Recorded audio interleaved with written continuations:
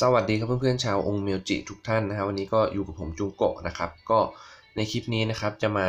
สอนวิธีออโต้นะครับประตูยมโลกจนจบชั้น 70 เลยนะครับ จริงๆ ประตูยมโลกเนี่ยถ้าถึงชั้น 50 เนี่ยก็ถือว่าได้ของรางวัลสูงสุดของของเงื่อนไขแล้วนะครับผมอ่าตอนนี้ผมคลิปที่ผมอัดตอนนี้เนี่ยมันยังไม่เปิดนะครับ เพราะว่าผมอัดตอนบ่ายนะครับ แต่ว่าเดี๋ยวผมจะมาสอนวิธีการ auto นะครับ โดยเราปล่อย auto ไปเลยนะครับ จบถึงชั้น 70 เลยนะครับ เผื่อใครอยากพิชิตยอดของประตูยมโลกนั่นเองนะครับผม ก็ก่อนอื่นนะฮะ ก่อนที่จะไปดูคลิปการ auto เนี่ย เราจะพูดถึงตัวละครต่างๆ ที่ต้องใช้ก่อนนะครับ เริ่มจากองเมียวจิก่อนนะครับ องเมียวจิเนี่ยแนะนำว่าต้องเป็นเซเมนะครับ จริงๆ ใช้คางุระอะไรก็ได้นะครับ แต่ผมถนัดเซเมที่สุดแล้วกัน วันนี้ก็ขออธิบายถึงเซเมแล้วกันนะครับ เซเมนะฮะวิธีการ auto ง่ายมากครับ ไปที่ skill นะครับ แล้วก็เอาเจ้า skill นี้ครับผมนี่ยันต์ทำลายนะครับ ผมเพราะว่า skill นี้เนี่ยจะทำให้เป้าหมายเนี่ยติด debuff นะครับ อืมก็ทำให้มันโดนแรงขึ้นนะฮะสอง turn นะครับ ก็ เดี๋ยวมาอธิบายอีกทีว่าทำไมต้อง skill นี้นะครับ ก็เอาไปนะครับ แต่ ต้องเอาไป skill เดียวนะครับอ่าสมมติตอนนี้ผมมี skill โล่เนี่ยก็กดถอดด้วยฮะอ่าให้มันเป็นอย่างนี้นะครับ เพื่อที่เราจะ auto เนี่ย เราจะได้ใช้แค่ skill ยันต์ทำลายอย่างเดียวนะครับ ผม อืมอ่าแต่ตอนนี้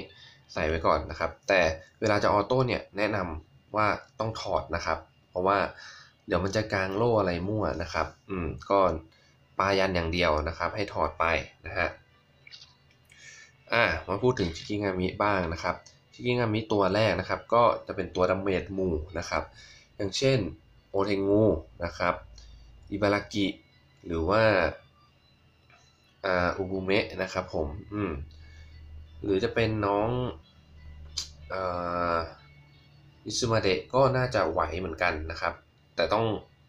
ดาวเยอะๆหน่อยแต่ ผมว่าส่วนใหญ่เพื่อนๆก็น่าจะใช้อุบุเมะไม่ก็โอเทงูอะไรอิบารากิอะไรอย่างนี้นะครับ เป็น 3 ตัวที่ เป็นดาเมจได้ดีนะครับ ก็เลือกมาตัวหนึ่งนะครับผมอืมประมาณนี้นะครับ ก็เน้น 6 ดาวไปเลยจะได้เคลียร์ไวๆนะครับ จริง ๆ 5 ดาวอะไรก็ไหว แต่ว่าพอไปชั้นหลังๆเนี่ยมันจะใช้เวลาค่อนข้างนานนะครับ อืมตัวถัดมานะครับ ผมก็จะเป็นตัวคาไมทาจินะครับ เพื่อนๆต้องมีคาไมทาจิที่ speed มากกว่าถ้าเอาชัวร์ก็ 200 ละกันนะครับ แต่จริงๆผมว่า 190 ก็ น่าจะไหวนะครับ ไม่แน่ใจแต่ถ้าเอาชัวร์เนี่ย200ขึ้นไปน่าจะไหวนะครับผม อืม ก็คาไมทาจิเนี่ยหน้าที่ของเขาคือ เพิ่มแถบ turn ให้เพื่อนนะครับผม อืม เพราะว่ามันเป็นตัวที่ speed เยอะสุด มันก็จะต้องกระโดดเพื่อให้เพื่อนเนี่ย ขึ้นมาข้างหน้าให้หมดนะครับผม อะ ประมาณนี้นะครับสำหรับคาไมทาจินะ ตัวถัดมาก็คือน้องยามาอุซังินะครับ เพราะว่าจริงๆ ใช้แค่คาไมทาจิเนี่ยก็พอนะครับ แต่ หลังจากชั้นประมาณ 3-5 หรือว่า 40 เนี่ย เราจะใช้แค่คาไมทาจิแล้วมันไม่พอแล้วครับ เพราะว่า monster เนี่ย speed เยอะมากๆนะครับ ฉะนั้นเราต้องใช้ยามาอุซังินะครับ ยามาผมเนี่ย speed ประมาณ 170 กว่านะฮะ ก็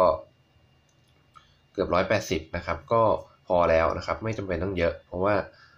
เอาง่ายๆ เอา 160 แล้วกันนะครับ เพราะว่าเดี๋ยวคาไมทาจิมันจะเร่งขึ้นมาให้ยามาอุซังิกระโดดต่อนะครับ เพื่อให้ตัวอื่นๆเนี่ยขึ้นมานะครับ อ่า skill ที่ใช้ก็ ใช้แค่ skill นี้อยู่แล้วนะครับผมมประมาณนี้นะครับสามตัวแล้วเนาะเหลืออีกสองตัวนะครับ ก็จะเป็นน้องไฟนะครับผม น้องไฟเนี่ย ต้องทำให้ speed เนี่ยอยู่เป็นลำดับที่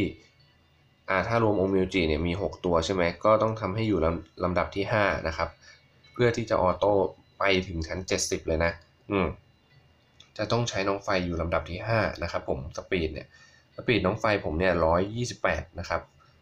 ก็เอามาเสกไฟอย่างเดียวนะครับ หน้าที่ของเขาคือเสกไฟไม่ทำอย่างอื่นเลยนะฮะ ก็เสกไฟแล้วก็ใส่นกฟ้าไว้ด้วยนะครับ อืม ใส่นกฟ้าเพื่อที่จะทำให้เริ่มเทิร์นมามีไฟพอนะครับผมทำไมต้องไว้ลำดับ 5 นะครับ ผม เพราะว่าตัวต่อไปนะครับ จะอยู่ลำดับที่ 6 นั่นก็คือโฮกะนั่นเอง โฮกะเนี่ยก็ใส่ความแม่นเยอะๆนะครับ ความแม่นเนี่ยก็ ช่อง 4 นะครับ จะมีรูนที่เพิ่มความแม่นยำเป็นออฟหลักอยู่ ก็พยายามหามาแล้วก็ตีบวกให้ครบนะครับ ส่วนช่องอื่นๆเนี่ยก็หาแม่นอะไรมาเล็กๆ น้อยๆก็น่าจะพอนะครับ ต้องทำให้โฮกาเนี่ยแม่น 100%นะครับขึ้นไปนะครับ อย่างของผมเนี่ย105%นะครับอ่านี่ฮะเพราะว่าสกิลนี้ของโฮกานะครับผมจะทำให้ตัวที่ติดดีบัฟนะครับ ตอนแรกเนี่ยเราจะใช้ไซเมปายันก่อนนะครับ อืม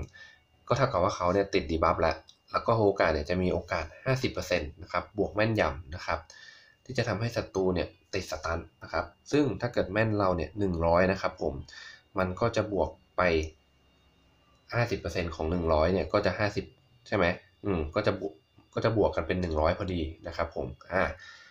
เข้าใจไหม คือมันไม่ได้บวกแม่นไปตรงๆเป็น 150 นะครับ คือจะเอา 50%ของแม่นเนี่ยไปบวกกับ 50 อ่าก็คือต้องทำให้เกิน 100 นั่นแหละ คือถ้าเกิดเพื่อนๆทำ80 อะไรเงี้ยมันก็จะมีโอกาสที่จะหลุดบ้างนะครับผมอืมก็แนะนำว่าถ้าอยากออโต้แบบรัวๆผ่านเนี่ยก็ให้ร้อยไปเลยนะครับผมอืม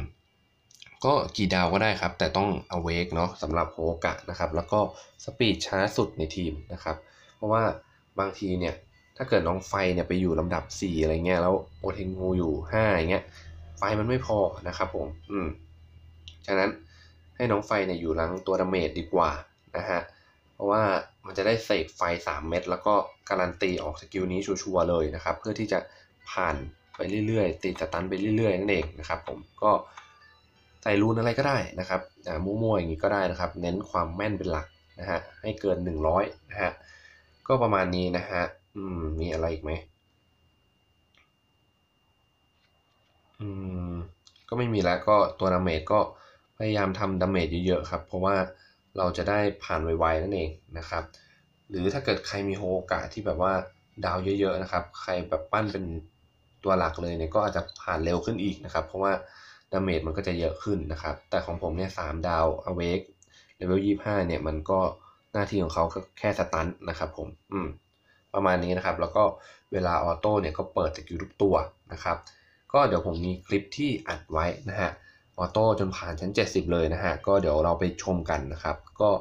ส่วนตัวผมก็คงลาไปเพียงเท่านี้นะครับ ฝากกดไลค์กด subscribe channel ด้วยนะฮะ อืม แล้วก็หวังว่าคลิปนี้เนี่ยจะเป็นประโยชน์ให้กับเพื่อนๆนะครับ ผ่านประตูยมโลก เกินชั้น 50 ทุกทุกๆวีคเลยนะครับผม โอเคฮะสำหรับวันนี้ลาไปก่อนนะฮะ เราพบกันใหม่คลิปหน้านะครับผม บ๊ายบาย